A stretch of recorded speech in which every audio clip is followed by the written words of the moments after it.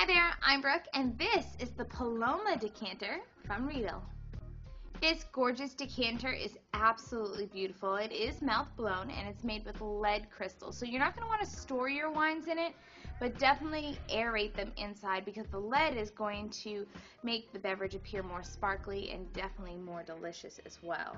You would fill it through this wider end back here and I love that the spout is at the height of a wine glass so it, it fills with little to no effort at all and it is a hand wash item that you'll definitely love for years to come. And because of its gorgeous horizontal scaping, it's going to be perfect for those brilliantly matured wines. It's the Paloma decanter from Riedel. See ya.